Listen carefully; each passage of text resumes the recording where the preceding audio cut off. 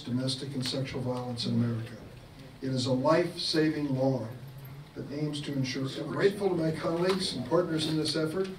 Uh, some of them will have a moment now to express their opinion on where we stand today. When there is silence from a Congress too busy to renew the Violence Against Women Act for a decade, it reinforces that sense of worthlessness.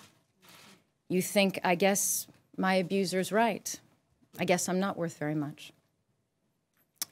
That's why passing this law is one of the most important votes you as senators will cast this year.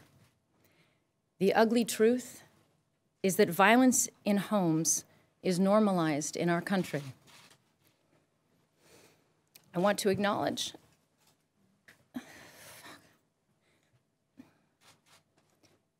most of all, I want to acknowledge the children who are terrified and suffering at this moment, and the many people for whom this legislation comes too late.